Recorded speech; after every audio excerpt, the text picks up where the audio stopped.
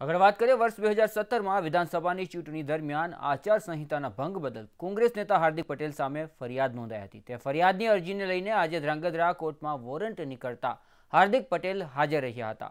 છેલ્લા કેટલાક સમયથી હાર્દિક પટેલ કોર્ટમાં હાજર નહીં રહેતા જ્યુડિશિયલ મેજિસ્ટ્રેટ જેડી પાણીના સાહેબ દ્વારા સમન્સ કાઢ્યું હતું. આ બાબતને ધ્યાનમાં રાખતા હાર્દિક પટેલ અને કૌશિક પટેલ બંને ધ્રાંગધ્રા કોર્ટમાં હાજર રહ્યા હતા.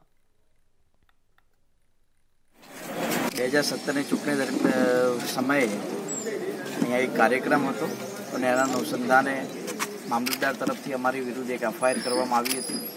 આજે એ કાયદાકીય પ્રક્રિયા પૂર્ણ કરી છે. બે હજાર સત્તરની ચૂંટણી દરમિયાન એક વિપક્ષ તરીકે, એક સામાન્ય વ્યક્તિ તરીકે જેટલી પણ જનસભાઓ કરી છે, જનતાના હિત માટે કરી હતી. પરંતુ છતાંય સરકાર અને સરકારના માણસોએ અધિકારીઓ દ્રેસ રાખીને અમારી ઉપર એફઆઈઆર કરેલી છે. અલગ અલગ પ્રક્રિયાઓ જે પણ ન્યાયિક છે પૂર્ણ કરીએ છીએ ન્યાયતંત્ર ઉપર ભરોસો પણ રાખીએ છીએ.